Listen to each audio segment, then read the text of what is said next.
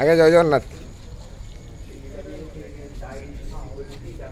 হরি বল হরি হরি বল হরি হরি বল চূড়াটিକୁ ଉଡ଼ିକି କଡ଼ ଘାଟି ଘୋଷି ଦେଲୁ ବୋଲି ବୋଲି କଡ଼ଟି ନଗିଲୁ କାନେ ଘୋଷି ଦେଲୁ ହରି ବୋଲ ହରି ହରି ବୋଲ ହରି ହରି ବୋଲ ଶ୍ରୀ ପୁରୁଷୋତ୍ତମ ଯୋଗ ଶ୍ରୀ ଭଗବାନ ବାଚ ଅର୍ପା ମୂଳ ମଧସ୍ତାକ प्राहुरभ्ययम् छन्दांसि यस्य पर्णानि यस्तं वेद स वेदवेद अधश्च ऊर्ध्वं प्रसुतास्य शाखा गुणा प्रवर्धा विषयप्रबाला यस्मिन् तानानि वर्तन्ते भूयः।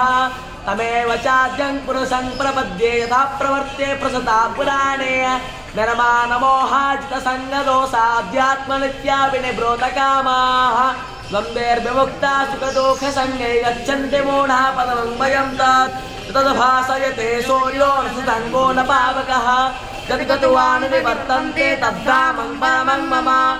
ममैवांशो जीवलोके जीवभूता सनातनः। मनःष्ठानीन्द्रियाणि प्रकृतिस्थानि कर्षति। सङ्गानमेव च। अधिष्ठाय मनश्चाय विषयानोपसेवते उत्क्रामन् गामा विस्मृतभूतानि धारयाम्यहमोजसा उष्णामि चौषधे सर्वा सोममुत्पार्षात्मकः अहं वैश्वानरो भूत्वा प्राणिनां देहमाश्रितः प्राणकरमतीतोः मत्स्यरागमिचोत्तम अधस्त्रीलोकवेदे च प्रतितः पुरुषोत्तम। हरि बोलो हरि हरि बोल हरि हरि बोलो। पुरुषोत्तम। सर्वहृदिग्म सर्वभावेन भारत।